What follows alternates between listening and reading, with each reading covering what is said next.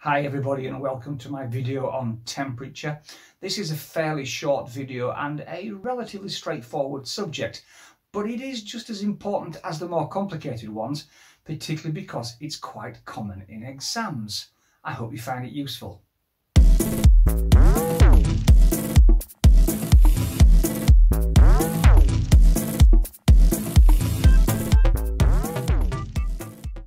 So it's worth starting by saying that everything has a temperature and quite simply the temperature of something tells us how hot or cold it is.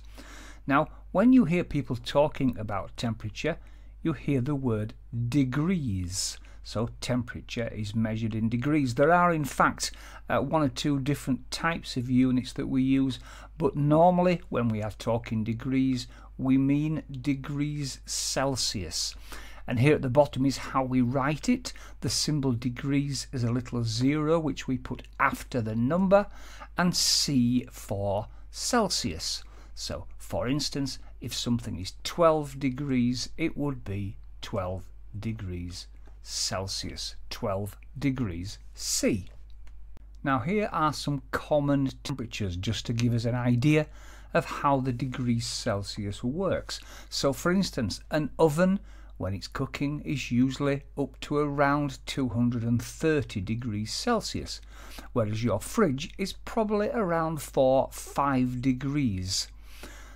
A room temperature, just to be comfortable, is around about 18 degrees, whereas a hot sunny day in Britain might be around 27 degrees. If you have water boiling in a pan, then if it's boiling away, it's at 100 degrees and it freezes at 0 degrees. And in fact, this is the sort of information that you might get asked about in exam questions.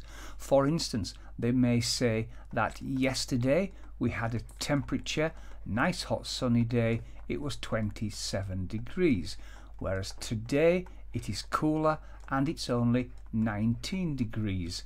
The question might be what is the difference in temperatures between the two days?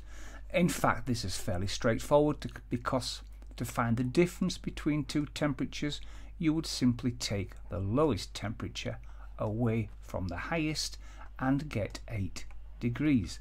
And don't forget, when you are answering questions which have units like degrees Celsius, you must always put the units on your answer. It is also quite common to be given information about temperatures in a table such as the one we have here and you may be asked questions about the information that it gives.